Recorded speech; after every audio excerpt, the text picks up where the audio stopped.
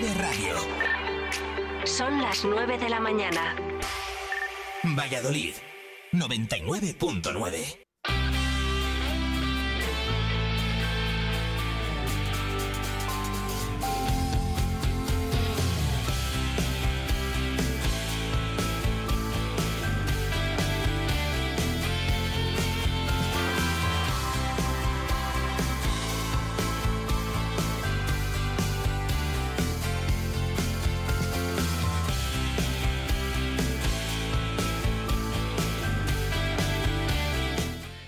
de la mañana seguimos en Vive Valladolid con muchos más asuntos que tenemos eh, preparados para esta hora de radio en la que vamos a hablar de aspectos como la reunión de la Sociedad Valladolid Alta Velocidad que va a tener lugar hoy en eh, Madrid, una reunión a la que asisten representantes del Ayuntamiento de la capital, encabezados por el concejal de urbanismo Ignacio Zarandona, además de, por supuesto, representantes de la Junta de Castilla y León y del Ministerio de Transportes y Movilidad Sostenible.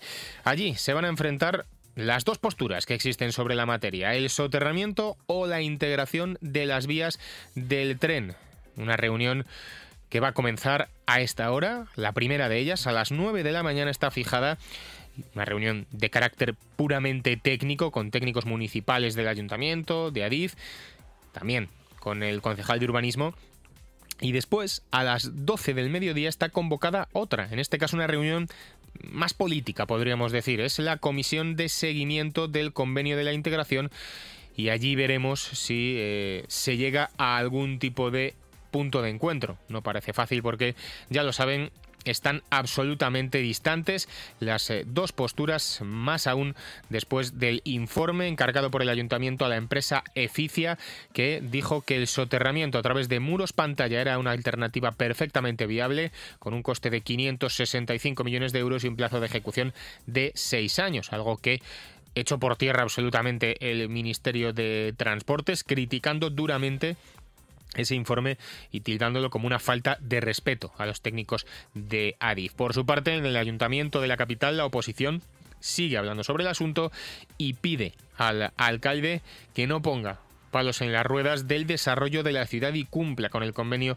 de integración, dice Pedro Herrero, el portavoz socialista, que hay cinco proyectos que el Ministerio ya tiene para licitar y que no puede permitirse Valladolid perderlos, algo que suscribe también la portavoz de Valladolid tomada palabra, Rocío Anguita, que pide también a los representantes del ayuntamiento que vayan con la mente abierta y dispuestos a desbloquear la parálisis que ahora mismo tiene la ciudad de Valladolid. Por su parte también manifestaciones desde la plataforma por el soterramiento. Cecilio Vadillo, que fuera subdelegado del gobierno, recuerden, por el Partido Socialista, ha afirmado que le avergüenza como socialista que la oposición dice supuestamente progresista del ayuntamiento no tenga en cuenta a los vecinos de la ciudad. Así que un asunto del que vamos a estar muy pendientes a lo largo de la mañana con esa reunión telemática que, eh, de la que va a informar precisamente Ignacio Zarandona este mediodía en el ayuntamiento. Estamos en el día después, a la borrasca Kirk. Dos heridos y hasta 85 emergencias atendidas por el servicio del 112 es el balance que dejó ayer esta borrasca en la provincia de Valladolid. Los fuertes vientos ocasionaron más de medio centenar de intervenciones por parte de los bomberos de la capital y de la provincia. Caídas de árboles, accidentes de tráfico, tejados, canalones y otros accidentes ocasionaron que los efectivos de ambos cuerpos no tuvieran prácticamente ni un minuto de descanso durante toda la jornada. El suceso más notable, desde luego, fue el que se produjo en la capital. El viento arrancó de cuajo la cubierta del tejado de unas viviendas que se encuentran entre las calles Recondo y Estación del Norte, justo enfrente de la estación de tren. El aviso se produjo sobre las once y media de la mañana. Los vecinos indicaron que el tejado había caído afortunadamente lo hizo en el interior del patio de las casas, causando solo daños eh, materiales. No hubo que lamentar ningún tipo de daño personal. Además, sí que hay que lamentar el daño personal en un accidente de tráfico que se produjo en la A6, a la altura de Medina del Campo. Allí colisionaron varios vehículos a causa de la aparición de una nube de polvo originada por el viento, tras lo cual dos hombres de 47 y 25 años precisaron de asistencia sanitaria. Además, también hubo infinidad de salidas, tanto en la capital como en diferentes pueblos de la provincia. Así que una jornada desde luego complicada la que se vivió ayer con esa borrasca Kirk. Más asuntos. El mundo empresarial sigue dando que hablar. Ayer reacción eh, del alcalde Jesús Julio Carnero ese anuncio de, o ese reconocimiento, mejor dicho, de Renault de cambio de la sede social de Renault España Comercial, con cerca de 300 empleados a las oficinas del grupo en Alcobendas. Eso sí, el domicilio social de Renault España S.A., la que gestiona las fábricas del grupo en Valladolid y Palencia, se mantiene en Valladolid. Ayer el alcalde bueno, dijo que está tranquilo sobre el asunto, no conocía el asunto con anterioridad. Es verdad que eh, nada más enterarse reconoció cierta preocupación, pero eh, dijo que vista la comunicación que hizo Renault, el asunto lo da por zanjado. De ello se va a seguir hablando, porque quien no lo da por zanjado es el Grupo Socialista en las Cortes de Castilla y León que va a volver a preguntar en sede parlamentaria sobre el eh, cambio de la sede social de Renault España Comercial. Otra empresa, Bimbo, lo acabamos de contar, se está ya en su primera jornada de huelga. Ayer por la tarde-noche a las 9 menos cuarto arrancó esa primera jornada que va a tener continuidad durante todo el día de hoy hasta las 11 de la noche frente a las instalaciones de Bimbo en la calle Pirita.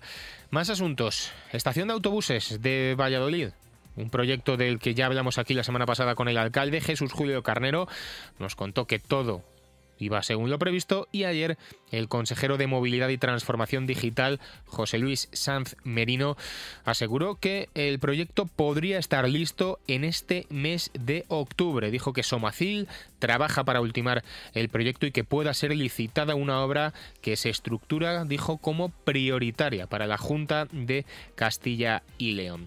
Todo ello en un día en el que se conmemora el Día Mundial de la Salud Mental, hoy 10 de octubre, una efeméride durante la cual la asociación El Puente sigue repartiendo sus tradicionales muñecas Micaela por la ciudad para identificar esta problemática que, ya lo hemos abordado con Raquel Barbero, afecta a cada vez más eh, personas. Además, hoy va a tener lugar una reunión de la Mesa de la Salud Mental en el Ayuntamiento de Valladolid, donde ayer se presentó la Semana Internacional de Cine, la Seminci, que calienta motores para su edición número 69. Arrancará el próximo viernes, día 18 de octubre, y se extenderá hasta el sábado, día 26. Un día más de festival al borde de los 70 años. Se van a proyectar más de 200 títulos entre largometrajes y cortometrajes en un festival del que hablaremos también enseguida y que va a conceder las espigas de honor al presidente, al director de la Academia de Cine de España, Fernando Méndez Leite, y a la recientemente fallecida guionista y directora de cine y televisión, Patricia Ferreira. Además, se va a hacer entrega de la espiga de honor al director iraní Mohammad Rasulov, que no pudo recoger la del año 2018 y ahora sí va a estar en Valladolid, en la Seminci, para recoger esa espiga.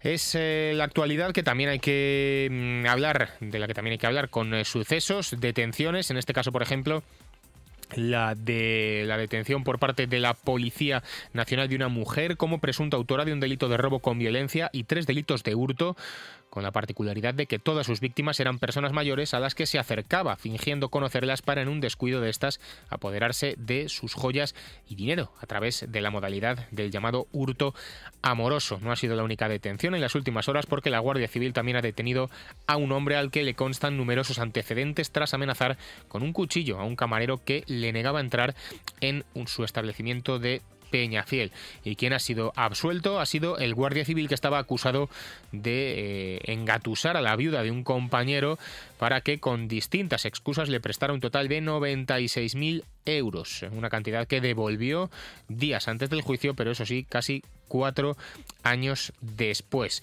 Y quien se declaró culpable en la mañana de ayer fue la mujer integrante del denominado clan de los Píos, que estaba acusada de haber acuchillado a cuatro miembros de un clan rival en enero de 2023 durante una reyerta registrada en el aparcamiento de un supermercado en Laguna de Duero. Esta confesión fue parte del acuerdo alcanzado entre la defensa y la fiscalía para que la condena global quedara rebajada a los 15 años y medio de cárcel.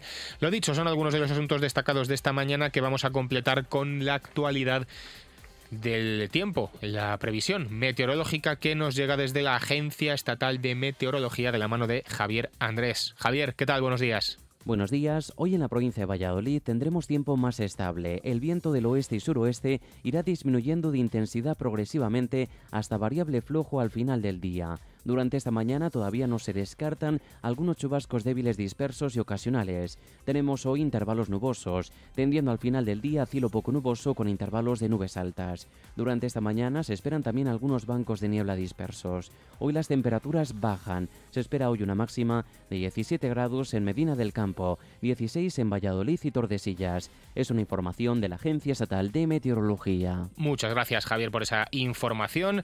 En cuanto al tráfico, recordamos porque hay bastantes obras que afectan a la red provincial de carreteras, así que las contamos rápidamente.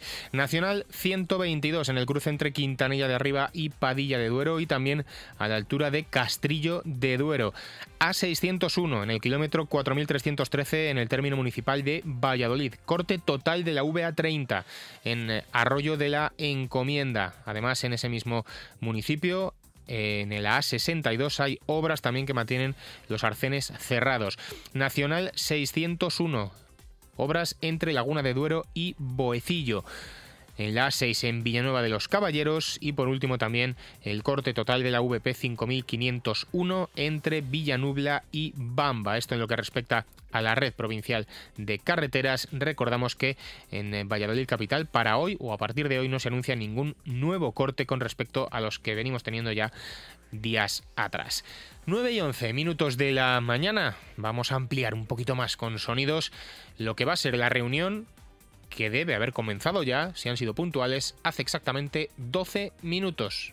El soterramiento y la integración en el foco otra vez en esa reunión del Consejo de Administración de la Sociedad Valladolid Alta Velocidad.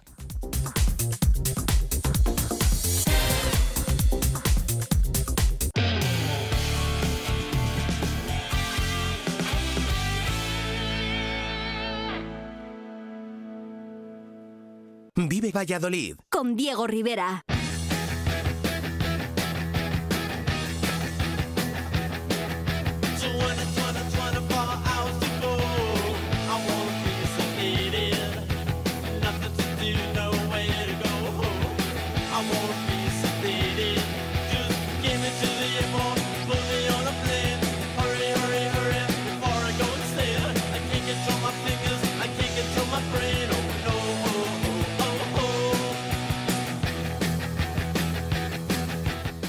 Como decíamos, hace pues ya 13 minutos, casi debería haber arrancado, si han sido puntuales, esa reunión del Consejo de Administración de la Sociedad Valladolid Alta Velocidad. La reunión tiene lugar en Madrid, aunque con matices, porque estaba convocada allí, pero, por ejemplo, uno de los representantes del ayuntamiento, quien va a encabezar, digamos, la delegación de la capital vallisoletana, mm, va a participar de manera telemática desde aquí, desde el ayuntamiento.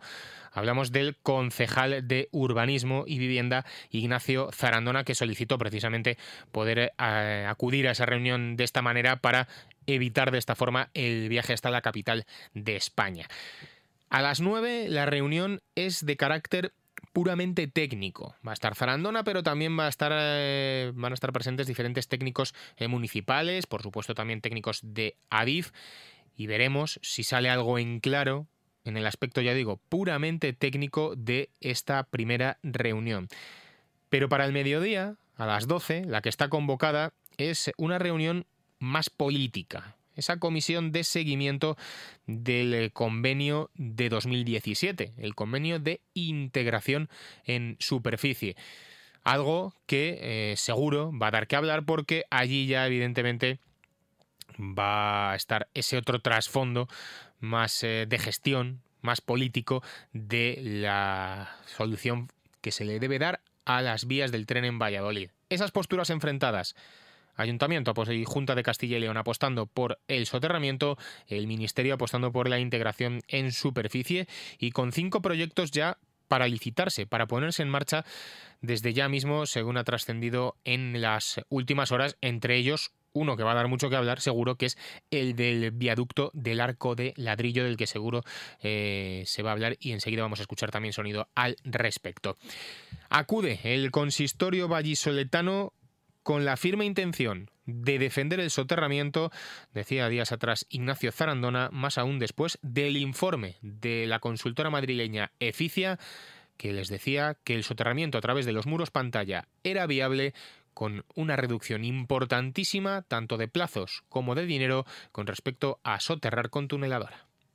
Nosotros estamos convencidos, más que nunca, de que esto es posible, de que los ciudadanos de Valladolid a los cuales representamos merecen esta solución y lo único que estamos pidiendo es que, por favor, abran un poco las miras, realicen este estudio informativo que estamos pidiendo y se valore objetivamente. Esto lo harán los ingenieros, no lo van a hacer los políticos, y se valore objetivamente acaso la diferencia en costo con esta integración que, que hoy estamos alumbrando a lo mejor no son tan distantes del soterramiento con pantallas y a lo mejor los plazos pues incluso empiezan a parecerse. Por tanto, nosotros acudiremos el próximo eh, jueves, nos sentaremos en las reuniones correspondientes y esta va a ser nuestra tesis, es decir, no estamos pidiendo nada que sea irracional, nada que no tenga fundamento y nada que no merezcan los ciudadanos de Valladolid.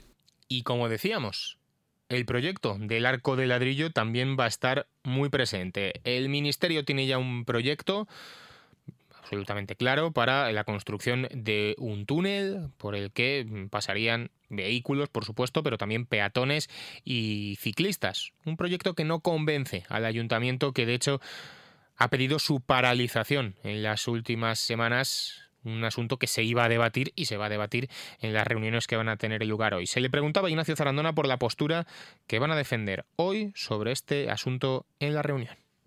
El proyecto que Adif ha aprobado técnicamente es inaceptable por el ayuntamiento, porque no ha recogido ninguna de las graves alegaciones que nosotros habíamos puesto sobre la mesa y está aprobado por ADIF. Nosotros hemos presentado hace unos días un requerimiento para que anularan la aprobación técnica de ese proyecto, que nos parecía importantísimo porque eso es lo que demuestra la voluntad de querer modificarlo.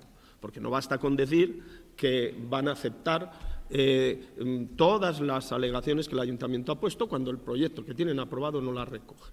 Nosotros lo que vamos a hacer en esa reunión técnica, en la que ya nos han advertido que solo van a participar técnicos, pues es mantener nuestra postura. Estamos convencidos de que esa solución no es la adecuada. Por lo tanto, si están eh, receptivos a recoger todas las alegaciones, tendrán que hacer un modificado de ese proyecto. Por tanto, esa aprobación no debiera de estar sobre la mesa y tendrán que presentar un nuevo proyecto. A partir de ahí, cuando presenten un nuevo proyecto, ya saben ustedes que hay muchos más factores sobre la mesa, como la movilidad, como las alternativas, que mientras no tengamos otras soluciones, pues ni siquiera podremos pensar en licitar esta obra. Por su parte, desde la oposición, críticas al equipo de gobierno y exigencias. Escuchamos al portavoz del Grupo Municipal Socialista, Pedro Herrero. Le pide al alcalde que no ponga palos en las ruedas del desarrollo de la ciudad y cumpla con el convenio de integración. Estamos en una situación crítica. Eh, Carnero está empujando a la sociedad Valladolid alta velocidad al precipicio. Está boicoteando cinco obras que están listas ya para licitarse, empezando por el nuevo paso de arco de ladrillo y con su empecinamiento solo va a conseguir que, que, el Partido Popular deje a Valladolid sin integración, como ya la dejó en su día sin soterramiento. Por eso lo que le pedimos es, por favor, que recapacite, que rectifique, que más vale pájaro en mano que ciento volando y que no impida que Valladolid siga avanzando. No ha sido la única petición que se le ha hecho al alcalde desde la oposición, porque la portavoz del otro grupo Valladolid toma la palabra, Rocío Anguita le pedía en este caso a Carnero y también a Ignacio Zarandona responsabilidad. Pedimos al alcalde Carnero y al concejal Sarandona responsabilidad y que trabajen por la ciudad para que no lleguemos a la parálisis total.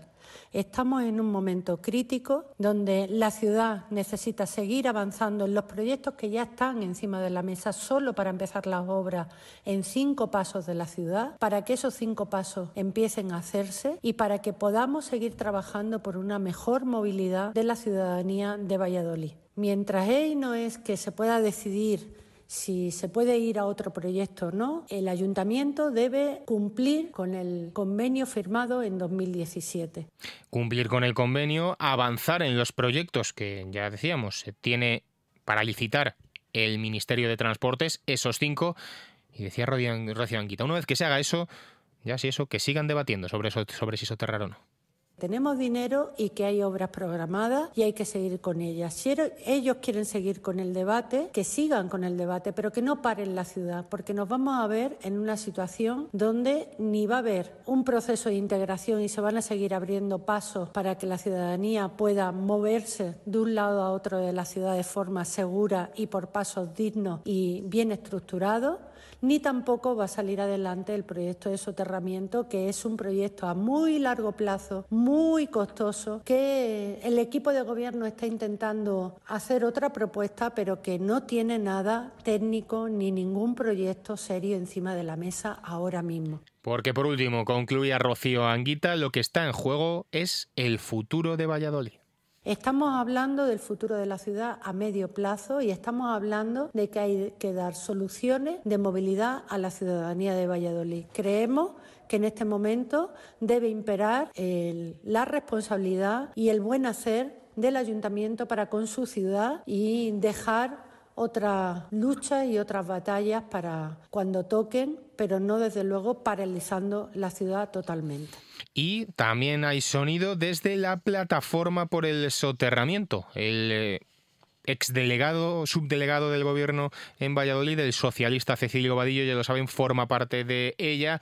Su apuesta claramente es la de soterrar las eh, vías del tren y ha tenido estas palabras tan contundentes hacia la oposición y hacia el que hasta hace nada era su partido personalmente, al margen de como miembro de la plataforma que soy, ¿no?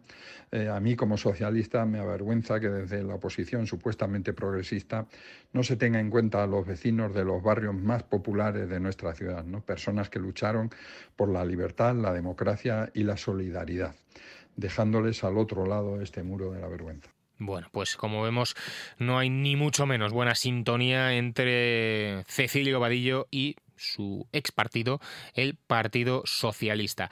Hoy están eh, teniendo lugar estas reuniones, como digo, y a partir se supone de las 12.40 va a ofrecer una rueda de prensa el eh, concejal de urbanismo Ignacio Zarandona para mm, dar todos los detalles de lo que se ha hablado en estas reuniones técnica y más política, la comisión de seguimiento del convenio que eh, tiene lugar, como digo, en Madrid y a las que asiste el concejal de manera telemática. Y antes de hacer una pausa vamos a escuchar un par de sonidos mm, de algo que, bueno, tiene cierta relación con esto, porque mm, aquí estamos hablando de soterrar las vías del tren. También aunque no hemos escuchado nada al respecto, pero de la nueva estación de trenes de Valladolid. Seguro que en algún momento de la reunión eh, se habla de este asunto. Mm, y está en el horizonte esa idea de una estación intermodal que, bueno, pues esté conectada a la estación de tren y la estación de autobús en Valladolid. Mientras tanto, hasta que eso llegue, si llega, la Junta de Castilla y León, eh, ya saben, aprobó hace más de medio año una partida de cuatro millones y medio de euros para las obras de remodelación de la actual estación de autobuses de Valladolid, de la que por cierto es propietaria la Junta. El alcalde Jesús Julio Carreno nos confirmaba en estos micrófonos, pues exactamente hace una semana, que mm, todo iba según lo previsto y que los plazos se iban a respetar. En principio, las obras deberían empezar a primeros de 2025. Pues bien, ayer el consejero de movilidad de la Junta de Castilla y León, el señor Sanz Merino, estuvo en la provincia, estuvo en Simancas y allí fue preguntado por cómo está este tema de la estación de autobuses estamos haciendo es lo que también hablamos que íbamos a hacer, que era encargar el proyecto y la obra a la Sociedad de Infraestructuras y Medio Ambiente de Castilla y León, SUMACIM. Y en eso estamos trabajando, estamos ultimando el proyecto para inmediatamente licitar la obra, porque claro, para licitar necesitamos redactar un proyecto. Eh, como digo, estamos ultimando el proyecto, no sé si este mes de octubre yo creo que podrá, podría estar el proyecto ya, por lo menos en fase de supervisión y sin solución de continuidad, eh, Somacil lo que hará será licitar la obra. Estamos ya en las últimas fases, hablando con, bueno, pues con los, titulares de los locales, comerciales y tal, para intentar no solo hacer el proyecto, sino poder programar eh, el, programa de obra, por así decirlo, que va a ser complejo, porque como pueden comprender va a durar bastante tiempo, dado que tenemos que hacer la obra y a la vez mantener el servicio. La estación de autobuses de Valladolid es la estación de Castilla y León que más usuarios tiene y es prioritario en este momento. Tenemos que, pasar página de, esta situación y tener, eh, eh, darle la dignidad que merece la, estación, ya digo, con más usuarios de toda Castilla y León. De la Junta de Castilla y León, pues bueno, ya en el futuro se verá, pero ahora mismo para nosotros es una prioridad a la que no podemos esperar y tenemos que dar esa dignidad. a ver qué dice el proyecto. Pues a ver qué dice el eh, proyecto, efectivamente, y por supuesto, a ver qué dicen otra parte a la que ha hecho referencia también el consejero José Luis Sanz Merino, los comerciantes que ahora mismo están dentro de esa estación de autobuses. ¿Pueden suponer estas obras el cierre temporal de alguno de estos puestos? Bueno, estamos en conversación con ellos para ver cómo lo podemos ir arreglando. No puedo anticipar en este momento nada, pero bueno, estamos hablando, como digo, con, los distintos titulares de los distintos centros para, para, no solo hacer el proyecto, sino también prever eh, la ubicación o reubicación posible de algunos de ellos. Bueno, pues dos infraestructuras que van a sufrir modificaciones de una o de otra manera. Habrá que ver exactamente en qué consisten, pero que van a ser modificadas. Eso es eh, un hecho, así que estaremos atentos a todo ello aquí en Vive Valladolid. 9 y 26 minutos de la mañana. Vamos a hacer una pausa y hablamos de otra movilización que va a tener lugar mañana. Ya hemos contado lo de Bimbo. Ahora hablamos de estudiantes. Radio Valladolid en el 99.9 de tu FM.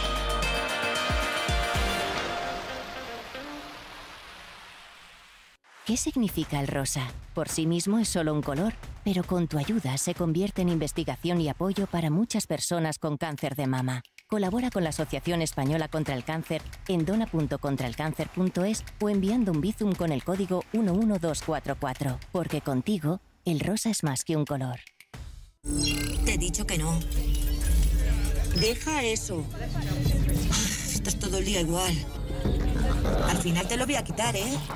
Ya está bien, dámelo. Prohibir no es la solución. Los y las adolescentes siempre encontrarán la forma de acceder a la tecnología. Descubre cómo acompañarles en FAD.es. Litera Donacionis, donación de la Villa del Fresno el Viejo el 18, 19 y 20 de octubre. Vive un fin de semana medieval en Fresno el Viejo. Recreación histórica, feria medieval, torneo medieval, novena edición del Pincho de la Reina y mucho más. El fin de semana del 18 al 20 de octubre tienes la cita medieval en Fresno el Viejo. Vive Valladolid. Vive Valladolid. Con Diego Rivera.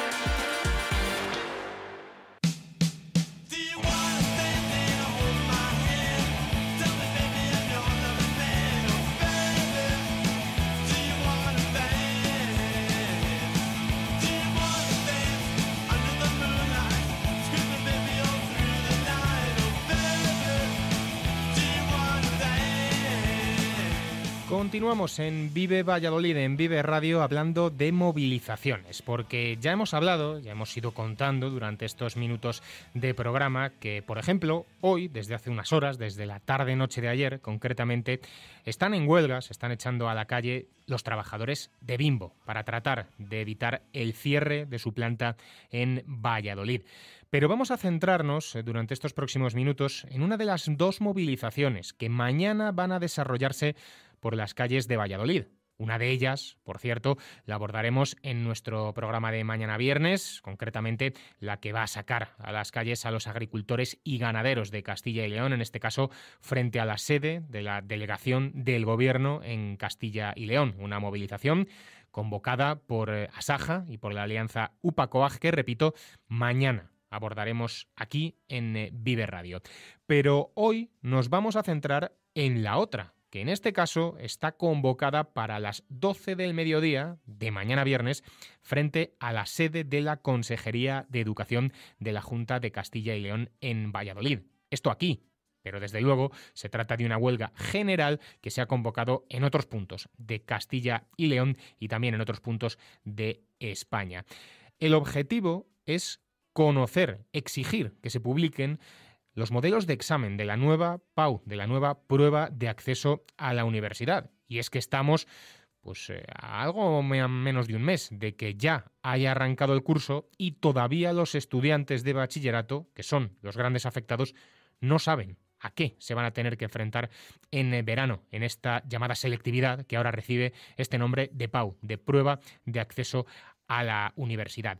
Es cierto que ayer mismo la Junta de Castilla y León colgó en su portal de educación algunas novedades, alguna serie de criterios, por ejemplo, de duración de los exámenes, también eh, de lo que pueden restar las faltas de ortografía en eh, esas eh, pruebas, también que el 70% de la prueba debe contener preguntas abiertas y no tipo test, también por materias hay alguna serie de especificaciones al respecto, pero son unos criterios que ahora abordaremos y ahora conoceremos si valen o no. A quien convoca la movilización que en este caso es el Sindicato de Estudiantes de Castilla y León. Mucha preocupación, como decimos, al eh, respecto en el colectivo estudiantil y hablamos con ello.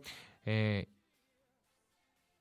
en el colectivo estudiantil y hablamos de ello con el portavoz general del Sindicato de Estudiantes de Castilla y León, que es Víctor Martínez. Víctor, ¿qué tal? Buenos días. Hola, buenos días. Muchas gracias por atender la llamada de Vive Radio para, bueno, eh, visibilizar una situación, eh, yo creo que podríamos decir, de hartazgo, ¿no? De los estudiantes de estar en este momento, en esta situación, ¿no? Sí, yo creo que más que hartazgo se puede considerar incluso incertidumbre, ¿no? Esta situación de estar ya a más de un mes del inicio del curso y todavía no saber lo que los estudios, eh, la, la materia que tiene que plantear para este curso que básicamente decidirá su futuro. Este examen básicamente decide eh, si entran a la universidad, si van a hacer la carrera para que se llevan ya año y este que espera preparándose. Y nos parece realmente preocupante, además de, esta falta de comunicación, que la última movilización que se convocó en Murcia hasta el día de hoy ha habido tanta represión policial como hubo contra, bueno, pues contra los mismos estudiantes, ¿no? Eh, ¿Cuándo fue esa movilización en Murcia? Esa movilización tuvo lugar el fin de semana pasado, en la cual, bueno, pues estudiantes, bueno, fin de semana englobamos el viernes, estudiantes se manifestaron eh, delante de, bueno, de las, de las direcciones provinciales y de las consejerías y hubo una respuesta muy directa y a la vez eh, muy bien interpretada por parte de los estudiantes de que no nos quieren en las calles, de que nos quieren en las aulas, nos quieren callados y nos quieren eh, sumisos. Y eso les vamos anunciando que no va a pasar. Eh, como decíamos, en el caso de Valladolid, mañana viernes está convocada la movilización. Em, ¿Qué tipo de seguimiento esperáis por parte de los estudiantes y, sobre todo, hacia qué perfil de estudiante va dirigido? ¿De qué grupo de edad?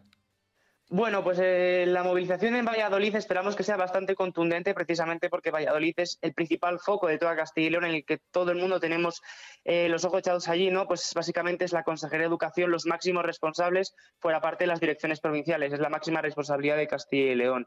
Y esperamos un, muy buen recibimiento por estudiantes que son precisamente los que nos han pedido, eh, nos han solicitado esa concentración, que tendrá lugar a las 12 horas en la Consejería de Educación para decirles alto y claro las reivindicaciones que tenemos los estudiantes.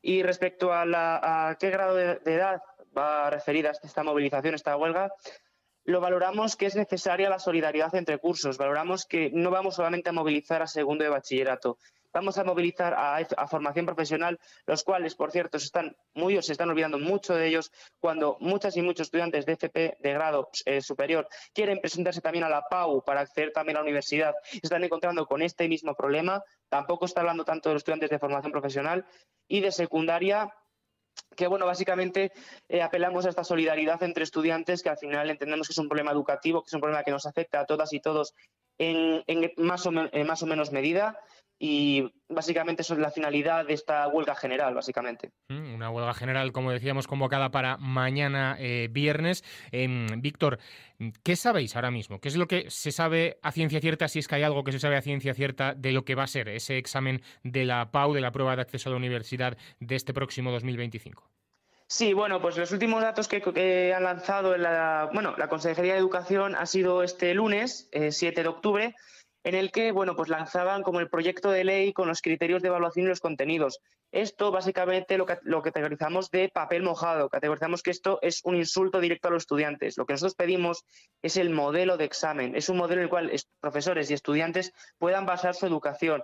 No pedimos un planteamiento de ley que, por cierto, desde el lunes eh, desde su lanzamiento el lunes 7 de octubre, no va a tener entrada en las valoraciones administrativas hasta el día 17 por los 10 días de plazo de alegaciones ciudadanas. Eh, por lo cual, poniéndonos en las mejores situaciones, este, esta propuesta de ley eh, sería viable ya casi nos ponemos en fechas de noviembre. Y Víctor, em, una cuestión. Ayer conocíamos eh, la información eh, de los compañeros de la agencia ICAL con eh, esos documentos que colgaba la propia Consejería de Educación de la Junta en el portal de Educación. bueno, pues con unos criterios genéricos. recordamos, el 70% de la prueba debe contener preguntas abiertas y no tipo test. el tema de las faltas de ortografía, cómo se van a, a restar, los errores, etcétera, etcétera. Em, esta publicación por parte de la Junta es suficiente eh, o esto eh, realmente eh, no cambia nada y aún queda camino por recorrer? No, esta, esta publicación que ha hecho la Junta de Castilla y León a escasos días de la huelga general de estudiantes es eh, ya no solo insuficiente, sino insultante hacia los estudiantes.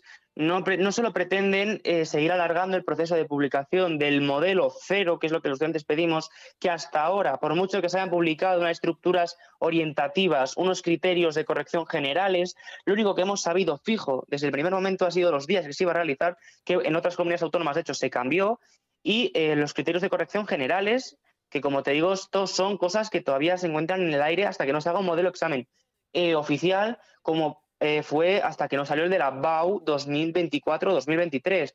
De hecho, eh, para todo el mundo que tenga dudas, esta, este tipo de, modelos no tiene ninguna no tiene ninguna representación en el, examen a nivel oficial hasta que no salga ese modelo propio. De hecho, eh, cualquier persona tiene a nivel, a nivel de digital, ¿no? Buscar el modelo de la BAU 2024-2023 y ver que hay una estructura de un examen, hay un modelo de un examen por cada categoría y que de la PAU 2025 todavía no existe ninguno. Mm, pues eh, matiz hecho, desde luego que importante. Esto, por tanto, entonces no cambia nada. La huelga de mañana viernes sigue adelante. La huelga de estudiantes eh, es un mensaje que queremos mandar muy directo a la Consejería de Educación. La huelga de estudiantes se mantendrá hasta que salgan los modelos cero de todos los exámenes de la PAU 2025 para todos los grados. Pues como vemos, esto eh, no cambia nada, esta publicación y esa incertidumbre, que era la palabra, Víctor, que utilizabas al principio de esta conversación eh, que existe entre los estudiantes, supongo que también en cierto modo está en otro colectivo fundamental, importantísimo en todo esto, ¿no? Porque eh, lógicamente nos centramos en los principales afectados por la situación, que son todos aquellos estudiantes que se van a jugar su futuro en esa PAU, en esa prueba de acceso a la universidad dentro de unos meses, pero claro, en el medio de todo esto están otros de los actores fundamentales, los profesores, ¿no? Claro que sí, los, y las profesores están preocupando muchísimo también de esta prueba, la están siguiendo muy de cerca eh, su lanzamiento en el sentido que todavía no ha habido, están muy centrados, están casi todos los días visitando los medios de comunicación de la Junta a ver si de una vez lo lanzan, cosa que de momento adelantamos que no va a pasar por bueno la manera que se está, que se está tramitando todo en Castilla y León. Y es cierto que los profesores tampoco, al igual que los estudiantes, no tienen el, contenido que estudiar, los profesores no tienen el contenido que impartir.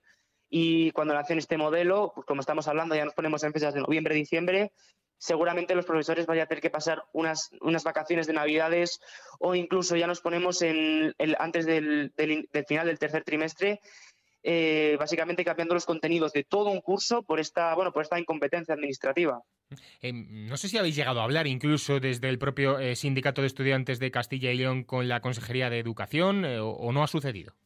No, esto no, ha sucedido y sí que se planteó. Eh, la semana pasada sí que se planteó establecer estas comunicaciones de hecho, tenemos planteado que el próximo viernes, delante de la Dirección Provincial de Educación, en una de las concentraciones que tendrá lugar, un representante sindical va a entrar a la, Dirección Provincial a dar entrada en registro educativo a una carta dirigida a la señora consejera para preguntarle que, por aparte que sabemos que esto, este, este examen de momento no se va a publicar, ¿qué está pasando? ¿Qué están haciendo estos servidores públicos por nosotros? ¿Qué están ¿Qué están planteando para dar, problema, eh, dar, solución, eh, dar solución a este problema tan, tan grande de estudiantes? Y básicamente esta, esta, este planteamiento de esta, bueno, de esta comunicación con la Junta se cerró desde el momento que este lunes han lanzado, eh, este lunes han lanzado esta propuesta de ley, porque básicamente que se lancen esta semana es muy significativo. Implica que, quiere, que quieren generar eh, confusión entre los estudiantes, quieren hacer crear la sensación de que ya hay algo y la verdad es que no hay nada. In. Entonces, básicamente, cuando se nos ha tomado por tontos, cuando hemos decidido cerrar cualquier posibilidad de comunicación. Eh, porque mm, esto, eh, para todo aquel, eh, toda aquella persona que, esté escuchando y, no esté a lo mejor muy puesta, Víctor, en el mundo educativo, em, esto es responsabilidad de cada comunidad autónoma, el tipo de examen en la PAU, porque siempre está esa reivindicación, que por cierto Castilla y León ha llevado a gala desde hace ya bastante tiempo, de una prueba de acceso a la universidad única a nivel estatal. Esto por ahora no se ha dado, eh, es algo que siempre está ahí en el debate, pero que bueno, por ahora eh, no es así. Es decir, que esto eh, depende de la Junta de Castilla y León y no tanto del Gobierno de España. No, a ver, esto es una, controversia que ha habido también. este año se ha lanzado la nueva PAU, la nueva conocida como la PAU, ahora ya no se llama PAU. ¿Mm? este examen, según afirman bueno, los, los redactores del Ministerio de Educación, eh, bueno, dicen que es para homogeneizar, que haya un solo modelo de examen y que haya pues, más homogeneidad a nivel de, a nivel de contenidos. Esto, en primera instancia, el retraso hasta, hasta casi eh, hasta principios de octubre ha sido responsabilidad del Ministerio de Educación, que no han lanzado esa comunicación a las autonomías para que empiecen a redactar su propio examen. Es básicamente, pues, si nos parece poner un ejemplo, eh, cuando se saca una ley por BOE, luego hay que matizarla por BOCIL. Básicamente se está, deriva, se está sacando unas bases, luego las comunidades autónomas deben de concretar esas bases para luego lanzar ese examen. Eh, porque a vosotros el modelo actual que se estaba desarrollando, eh, por ejemplo, sin ir más lejos, eh, el año pasado, ¿os convence? ¿No os convence? No, desde el sindicato de estudiantes siempre hemos mantenido una postura firme acerca de este, este tipo de pruebas de acceso a la universidad Creemos que es bastante injusto que los estudiantes y estudiantes que con más recursos económicos puedan permitirse academias y profesores particulares, mientras que los estudiantes con menos recursos de, clase trabajadora no puedan permitirse esa clase de facilidades, por lo cual se está dando eh, una, mayor importancia a las personas, bueno, pues este, hablamos ¿no? con mayores recursos cuando entendemos que esta prueba, eh, la, única finalidad que en su día, cuando se sacó, vendieron, fue que, bueno, que hubiera una prueba de acceso única e igual para todos, cosa que hasta el día de hoy nunca se ha conseguido. Em, para terminar, eh, Víctor, quiero volver un poquito y cerrar desde el aspecto eh, más humano, digámoslo así, porque eh, hoy hemos hablado ya en nuestro programa de salud mental, a raíz de este Día Mundial de la Salud Mental que se está celebrando y conmemorando hoy, día 10 de octubre, y precisamente es una de las razones que desde el Sindicato de Estudiantes de Castilla y León esgrimís, ¿no? que no deja de ser estar jugando con la salud mental de unos estudiantes que mm, bastante estrés tienen encima ya en un año decisivo como es el de segundo de bachillerato como para añadir todavía eh, más leña al fuego, ¿no? También ese aspecto yo creo que es importante cerrar con él para, bueno, pues que todo el mundo eh, sea consciente y, sienta un poquito incluso en sus propias carnes a qué estáis, eh, a qué os estáis enfrentando, ¿no? Claro, como mencionabas, esto también es una cuestión de salud mental. Este es básicamente el examen más importante al que cientos de miles de estudiantes van a vivir en su vida. Es el examen que va a decidir si pueden hacer la carrera que les dará su futuro laboral o si se quedan a las puertas de, bueno, básicamente su futuro, ¿no? Esto está generando una gran ansiedad a los estudiantes, está generando una enorme preocupación y una también frustración de ir todos los días a clase, de mantener, pues como decimos, esas jornadas lectivas de seis horas, sabiendo que lo que estás estudiando probablemente no vaya a entrar en la prueba que va a decidir tu futuro. Está siendo una situación bastante alarmante y a la vez eh, está siendo eh, por estudiantes, pues eso, muy mal recibida, pues porque básicamente se está desperdiciando su tiempo y su salud mental. Bueno, pues eh, estaremos muy atentos a lo que suceda mañana viernes. Eh, lo seguiremos, por supuesto, esas movilizaciones que recordamos se han convocado a partir de las 12 del mediodía, frente, en este caso, aquí en Valladolid, a la Consejería de Educación de la Junta de Castilla y León. Así que estaremos atentos. Víctor Martínez, portavoz general del Sindicato de Estudiantes de Castilla y León, muchas gracias por habernoslo contado y a ver si se soluciona todo esto pronto. un abrazo. Muchísimas gracias. Vive Radio Valladolid en el 99.9 de tu FM.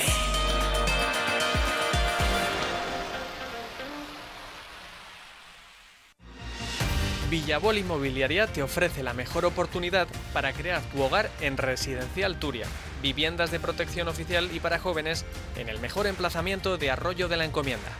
Infórmate en nuestras oficinas de Arroyo en la calle Francisco de Vitoria 22 de 8 y media a 20 horas. Y además podrás llevarte un cheque de hasta 6.000 euros para amueblar tu nuevo hogar. Villabol, siempre al lado de las familias. Más información en villabol.es. ¿Qué significa el rosa? Por sí mismo es solo un color, pero con tu ayuda se convierte en investigación y apoyo para muchas personas con cáncer de mama. Colabora con la Asociación Española contra el Cáncer en dona.contraelcáncer.es o enviando un bizum con el código 11244, porque contigo el rosa es más que un color.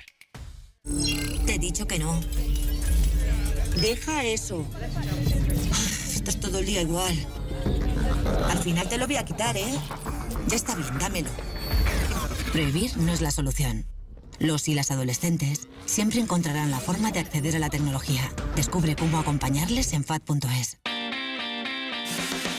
Vive la información con Vive Radio Valladolid. Con Vive Radio Valladolid. Diego Rivera.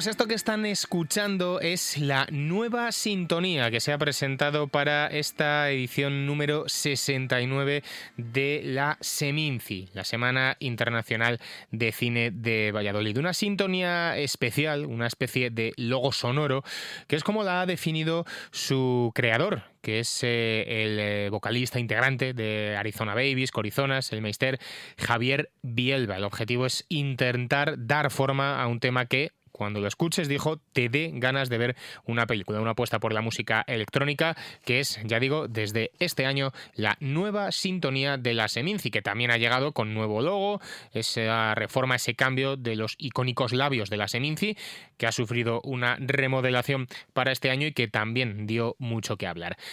Ayer se presentaron todos los detalles de eh, esta edición que va a arrancar el próximo viernes, este viernes 18 de octubre, una Seminci que va a extenderse hasta el sábado 26 de este mismo mes y que llega con un programa, según afirmaba José Luis Cienfuegos, el director del certamen, con un programa ambicioso, fuertemente comisariado, dijo, y con importantes estrenos en exclusiva. Este año, pues, estamos no satisfechos porque nunca estaremos satisfechos del festival que hemos construido, pero sí creo que en estos días se ha transmitido algo especial, ciertas buenas vibraciones de que algo está ocurriendo en esta Semana Internacional de Cine de, Valladolid. Um, ofreceremos durante nueve días una amplia panorámica del cine de autor de referencia y sobre todo transmitiremos la imagen de un festival fuertemente comisariado programado, ambicioso, por supuesto, pero también conciliador, optimista y que llama al diálogo y a la esperanza en el cine y a los espectadores. Quiero dar las gracias a la complicidad de los productores españoles, de los productores internacionales de todo el mundo que han apoyado y que han apostado por estrenar en Valladolid sus, sus películas, los distribuidores independientes, los agentes de ventas internacionales, repito, y sobre todo a esos creadores que nos van a visitar y a participar en numerosas actividades. Tendremos, estamos ahora mismo encajando eh, de todo lo que es la compleja parrilla de programación, todo lo que son los encuentros. Calculo que habrá, pues, como el año pasado, pues, unos 110 o 120 encuentros con, con directores que nos visitan y que vienen a presentar sus, sus películas. Un festival de cine internacional, pero con una importante presencia del cine español, con grandes estrenos, contaba Cienfuegos en la sección oficial. Y es un festival internacional, es un festival internacional. Tenemos 210 películas, sí, en las secciones competitivas hay 68 y 19 son españolas, un 22%, y un 30, perdón, un 28%. Y de 144 largometrajes programados en el festival, españolas son 30. Lo digo por el tema del cine español en, en la Seminci. La cuestión no es que se programe más o menos, sino el cómo. El cómo. Solo hay que ver la sección oficial de este año, es decir, el lujo de tener en Valladolid dos películas de la reciente Premio Nacional de Cinematografía, María Zamora, compitiendo en sección oficial. Carlos Marqués Marcet, apostamos desde hace más de seis meses por Polvo Serán, la película que inaugura el festival. Por cierto, María Arnal, que compuso la banda sonora, eh, ha obtenido un prestigioso premio a nivel europeo como reconocimiento a su labor en la recuperación del folclore y de la, de la música y de su articulación con la música contemporánea y la veronal, que, eh, que es el, el, el, el, grupo de danza contemporánea que muchos conoceréis, también un, grupo de, de, de, de, referencia a nivel internacional, acaba de recibir el Premio Nacional de, Danza. Tanto María Arnal como la Veronal están en la película de inauguración del, del, del festival. Un festival que llega con novedades. Una de ellas, una sección no competitiva que se denomina Constelaciones. Este año se ofrecerá una nueva sección, está programada una nueva sección Constelaciones. Es una, un apartado no competitivo que simplemente lo que, lo que es, eh, pretendíamos enriquecer eh, aún más la calidad de los títulos internacionales proyectados en el festival y también brindar un espacio a cineastas que presentaron sus películas en Seminci en pasadas ediciones y que este año tenían uh, nuevos trabajos. Así, por ejemplo, Bert, de Andrea Arnold, Emilia Pérez, de Jacques Odiar, um, A Different Man, de Aaron Schimberg, uh, la última película de Mike Lee, la última película de Costa Gabras, todas ellas estarán en esa, bajo el paraguas de esa, de esa sección llamada, uh, de esa sección boutique llamada Constelaciones. Pero desde luego que hay más novedades, evidentemente la presencia de algunos personajes conocidos. Por ejemplo, va a haber proyecciones especiales en esta edición del año 2024. Destacaba una, José Luis Cienfuegos. Va a estar en Seminci, va a estar en Valladolid, no en calidad de cantante, evidentemente, pero aquí va a estar Antón Álvarez, más conocido como Z Tangana. Dentro de las proyecciones especiales ya habíamos anunciado el pase especial de, del, llanto de Pedro Martín Calero. Felicidades de nuevo por esa concha de plata en, San Sebastián. Y en San Sebastián también se presentó eh, la película de, de, Antón Álvarez, de Zetangana, la guitarra flamenca de Geray Cortés y Antón Álvarez, Zetangana, vendrá a la sala 7.1 de los cines Broadway, porque exigió 7.1. Y, gracias a, a, los cines Broadway podremos contar con Zetangana aquí en Valladolid presentando la película y además eh, pues participando en un encuentro con el, con el, con el público. También pues la colaboración con Televisión Española se ha intensificado. La semana que viene firmaremos el, el convenio en, en, Prado del, en Prado del Rey y daremos novedades al respecto, pero en la programación veréis que se ha incorporado la Premier Mundial de Colita Sin Filtros, esa maravillosa fotógrafa, un, un referente de toda, de toda una generación. Y hablando de generaciones, la generación joven también tiene su importancia dentro de Seminci, con dos espacios, la Mini Minci y la Seminci Joven. Y aprovechando que esa programación de Mini Minci y Seminci Joven, que ya estamos ejecutando lo que son, estamos coordinando todo lo que son las reservas de los centros de enseñanza, tanto de Valladolid como de todo Castilla y, y, y, León, pues lo que hacemos también es aprovechar esos títulos y ya que están programados, ofrecerlos durante un par de fines de semana a las familias, a las familias de Valladolid, eh, con una sección especial, bueno, sección especial, un apartado que es Cine en Familia, donde programamos algunas de esas películas de Mini Minci y o Seminci Joven. Por cierto, que van muy bien las reservas de los, de los colegios. Eh, ya nos acercamos, estamos ya, hoy supongo que al, al, final del día, pues ya tendremos 25.000 25 reservas. Sabéis además que para nosotros este tema de programar para los jóvenes no es cuestión de cantidad, sino el cómo porque se han implementado mejoras sustanciales de cómo presentamos, cómo trabajamos con los centros de enseñanza, cuál es la información que se les facilita, guías didácticas de todas las películas y se han incrementado en un 300% el número de encuentros con los directores. Y también va a haber encuentros, en este caso, con mujeres cineastas, porque la mujer también va a tener peso en esta nueva edición de Seminci. Sabéis que la transmisión del conocimiento para nosotros es muy importante y por ejemplo, en el Paraninfo de la, Universidad de, Valladolid, el día 22 de octubre, va a haber un encuentro de mujeres cineastas en torno al tema ¿Qué pasa cuando ellas toman la palabra? Una serie de mesas, en colaboración también con Radio Televisión Española, eh, una mesa coorganizada con la ECAM, donde participarán eh, las jóvenes, será un diálogo entre jóvenes productoras, productoras emergentes, y ya productoras que ya tienen un cierto currículum. Entre las jóvenes productoras, Sara de la Fuente, Silvia Fuentes, la, productora de Ocorno, y entre las, digamos, ya consolidadas, aparte de que es el día que Sandra Hermida, la productora de, de, Bayona, presenta eh, Fin de Fiesta en, sección oficial, que también participará en esta mesa, pues tendremos a Marisa Fernández Armenteros, la productora de Cinco Lobitos o Un Amor, y eh, María Luisa Gutiérrez, eh, la, que es una productora de absoluta referencia porque es la productora de las películas más taquilleras ahora mismo del cine eh, español, La familia Benetton, Padre no hay más que uno, las películas de Santiago Segura, etcétera. Esa será una mesa. Habrá otra, por supuesto, también. Y dos sonidos más del director de Seminci. Uno, este festival va a colaborar con otro más humilde del que también hemos hablado aquí en Vive Radio, el Festival Pucela Fantástica. También en esa en ese trabajo de establecer redes con los de fuera y también con los de casa, pues cómo no, apoyar em, a ese festival tan divertido que celebró hace unos meses su primera edición, PUFA, Pucela Fantástica, eh, y en colaboración con PUFA, pues vamos a tener la noche del viernes 25 de, octubre un par de, películas, bueno, pues también entre las dos proyecciones. Será una mini maratón y bueno, pues con, con, algunas, con, algunas, con algunas sorpresas. Y hablando de sorpresas, no solo de cine vive el hombre en Seminci, también hay preparada programación musical y sesiones Bermú.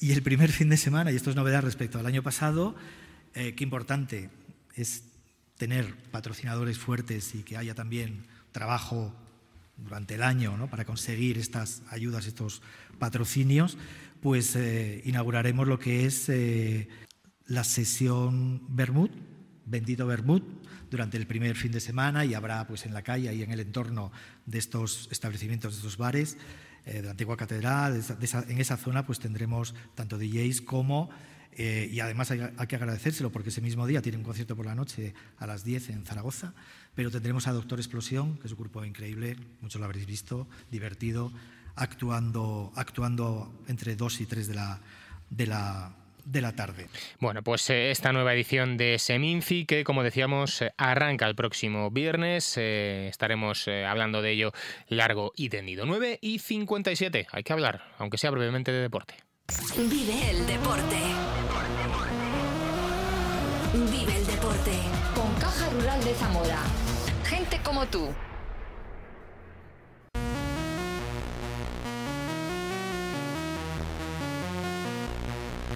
Y hay que hablar de la derrota del aula ayer en Málaga 33 a 29. Buen comienzo de las vallisoletanas que llegaron a tener dos goles de ventaja en los primeros compases del partido. Eso sí, Málaga le dio la vuelta y llegó a contar hasta con cinco goles de renta en la segunda mitad. Gran partido de Jimena Laguna, 10 goles para ella. Eso sí, al aula del Astro, el bajo acierto en portería. Carmen Sanz, una sola parada en la primera parte, dos en la segunda, así que optó por dar entrada a Salva Puig a la portera suplente, en este caso, que no tuvo una actuación eh, destacada. Se puso a dos eh, el aula a falta de 10 minutos, eh, gracias a cambiar de sistema, a vaciar portería, atacar con una jugadora más, pero no pudo ser y finalmente estuvo incluso a un gol en los últimos cinco minutos de partido, pero pérdidas de balón acabaron lastrando a las vallisoletanas que suman derrota. Así lo vio Salva Puig. Bueno, un partido donde hemos entrado muy bien, muy concentradas eh, yendo con pequeñas ventajas en el marcador, pero a medida que ha avanzado la primera parte, Málaga ha empezado a encontrarse más cómoda en el campo, su primera línea nos ha hecho daño y no hemos sabido defender algunas situaciones eh, claras que, que ellas han aprovechado para abrir una, una pequeña brecha en esa primera en esa parte de la primera parte. Vive el deporte. Vive el deporte. Con Caja Rural de Zamora. Gente como tú.